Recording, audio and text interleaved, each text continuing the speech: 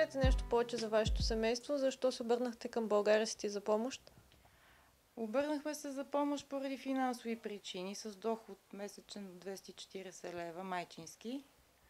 Мъжа ми е безработен и в доста трудно финансово състояние сме и не може да си позволим много от нещата, които в момента получихме от типа на дрежки и лакомства за детето.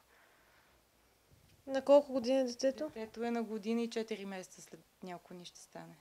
Скажете как живее едно тричленно семейство с 240 М, месеца на ден? Виждате, че живеем в една стая с един креват, една печка. А, много трудно, защото това, което може да си позволиме с тези 240 лева е да си платиме ток. Останалото, ако остане, е за ядене.